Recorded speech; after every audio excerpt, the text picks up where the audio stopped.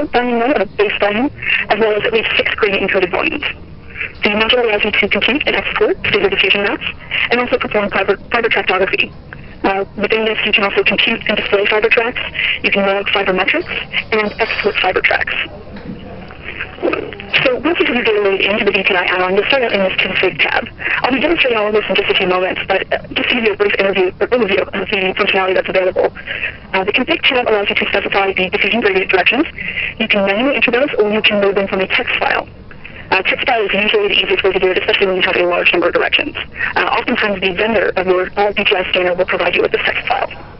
Uh, once the gradient directions are loaded in, you can specify to fit uh, certain gradient signs, and this is usually necessary to orient the gradient directions in the analyzed coordinate system, where left corresponds to positive x, anterior corresponds to positive y, and superior corresponds to positive z. You may need to experiment with this a little bit, uh, because it does often vary from vendor to vendor. And then finally, you can specify the B value um, for your DTI data. By default, this is set to 1,000, but if you require your data with a different B value, you can change this accordingly. So once you've set everything up in the config tab, you can move on to the map processing tab of the add-on module. Uh, in the map processing tab, you're going to specify a background threshold. Since tensor uh, computation is very process intensive, uh, setting a background threshold eliminates uh, background noise. So you don't have to compute tensor for background noise, and therefore you're cutting down on computation time, and also reducing memory usage as well. Once your DTI maps are computed, you can view them from the drop-down menu that appears in the image display. Uh, you can see that the module will compute for apparent diffusion coefficient, or ADC, fractional anisotropy, uh, or FA, relative anisotropy, or RA, uh, volume ratio, or VR, axial diffusivity, um, radial diffusivity, and then it will also provide an eigenvector color map, which indicates directionality using red, green, and blue. Uh, more details about the equations used to compute each of these maps can find, be found in the Analyze Users Guide, which is available underneath the Help menu in the DTI add-on or on the main Analyze Help menu. And you can also see references to uh, the, uh, these different algorithms at the bottom of this slide. Once your maps are computed, you can output them from the File menu in the DTI add-on. So you can output the different diffusion maps either to uh, disk or to your main Analyze workspace. Uh, this allows you to then use those maps for further analysis, you can do ROI analysis, or you know, uh, other metrics that may be desirable. Uh, you can also output eigenvector maps. Uh, the eigenvector maps, you end up with nine volumes in total, and you'll have the x, y, and z component of each uh, eigenvalue. And then the save eigenvalue maps option allows you to output the lambda 1, lambda 2, and lambda 3 uh, maps. Finally, you can move into the fiber tracking tab of the DTI add-on. Uh, the fiber tractography in the Analyze DTI module uses the fiber assignment by continuous tracking or FACT algorithm for fiber tractography. Now, with this, all voxels are first use the seed points for computing tracks in volume, and then all tracks that pass through each voxel are determined. Finally, regions of interest are specified via an object map file, and tracks that pass through these defined objects are displayed. There are a few uh, parameters you can set when computing fiber tracks. The FA start threshold specifies the threshold for starting a fiber track. Any voxel with an FA value greater than this will be used as a seed point for a track. The FA stop threshold uh, is the threshold for stopping a fiber track. If a voxel with an FA value less than this is encountered, then the track is going to be ended. The angle stop threshold specifies that the track uh, has to turn, uh, make a sharp turn in order to connect two eigenvectors, then the track will be ended. So if the turn uh, occurs at an angle greater than this angle stop threshold, uh, then the track will be ended. And finally, the fiber length threshold uh, specifies the minimum length of a track in millimeters. Uh, any tracks shorter than this value are removed. So ROIs for uh, displaying fiber tracks are controlled through an analyze object map file. So you can define this object map file in the region of interest module or any of the other analyze modules that support object maps, such as volume edit, image edit, uh, and so on. Uh, once you've loaded an object map file into the DTI add-on, you can then uh, display fibers, and you can control the fiber display using an uh, OR or an AND Boolean operator. Uh, if you have OR selected, then you'll only be visualizing fibers that pass through any of the selected objects. And if you use the AND operator, then you'll only be uh, visualizing fibers that pass through all of the selected objects. And we'll demonstrate this more in just a bit.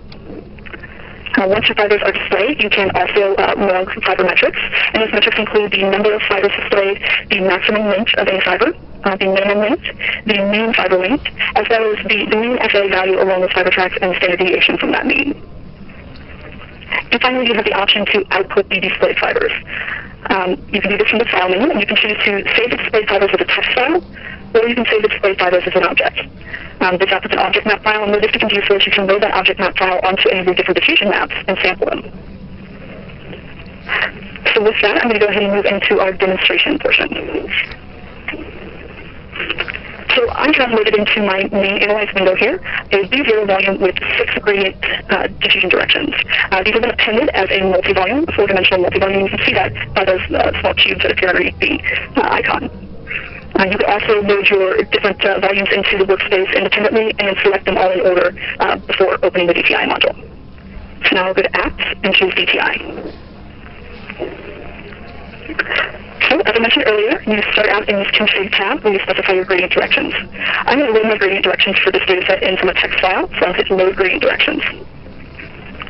You can see this text file here. Now, open it quickly just so you can get an idea of what that actually contains. Uh, we just simply have each direction on separate line with the, the different components separated by a space. You always want to make sure that you have B0 at the very beginning. But now I'll just hit open. Now, for this particular data set, I do know that the gradient signs need to be flipped about the z-axis, or excuse me, flipped for the z dimension. And this can vary from vendor to vendor, so you may need to play around with it. And now I have all of my information specified. You can see the different gradient directions in this drop-down menu. And I can move on to my map processing tab. So this is where I'm going to remove those background losses from the tensor computation. So I just set the background threshold to about 58 for this data set. Uh, you should find that you, you, you'll use a consistent background threshold for your uh, particular uh, imaging protocol. So you should be able to use a relatively consistent value for this across different scans. And now I hit compute DTI maps. And now I have calculated the ADC, FA, RA, VR, eigenvector color map, axial diffusivity, and radial diffusivity, diffusivity map. And you can view any of these by just selecting it in the drop-down menu. You can scroll through the different uh, slices in any of the three orthogonal planes. Now at this point, you might choose to output the DTI maps. So you file, save DTI maps, and you can choose output to disk um, if you perhaps want to do further analysis in a package outside of Analyze, or you can output to your Analyze workspace, which is what I'm going to do here. And you can see now in my main Analyze window, we have a 3D volume for each diffusion map. And you can see the volume name indicates which map it is. And if you were to select the eigenvector maps or the eigenvalue maps, you would get a similar output to those. So now I'll move on to the fiber tracking tab. So I got all of these different parameters earlier. Uh, I'm just going to use the defaults for today's demonstration, and I'll go ahead and hit compute fibers. Now, before I can visualize any fibers, I need to load an object map. The object map file can't be specified directly, or excuse me, defined directly within the DTI add-on. So what we need to do is we need to go back to a very powerful feature because it allows you to define your ROIs on any of the different diffusion maps. Uh, you could also uh, use you know, multiple points of reference. So for instance, I might select my FA map and then hold control and also select my eigenvector color map. And then go to measure region of interest. And now can view both of those different maps side by side. I'll just scroll to slice here. I'm not going to spend too much time on region definition. Um, we'll include in the resources on the website tomorrow some links to, to where you can find more information about region definition in the region of interest module. Uh, but just to give you an idea of how you would go about defining your ROIs for fiber tracking, you could, for instance, use the auto trace tool. You can over the image, click to set a seed point, adjust your threshold range, and then hit apply.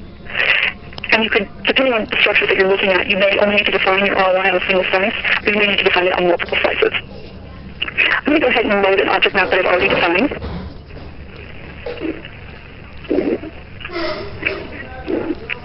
And you can see it contains very roughly defined objects for the corpus callosum and then also the corpus corticospinal tracts.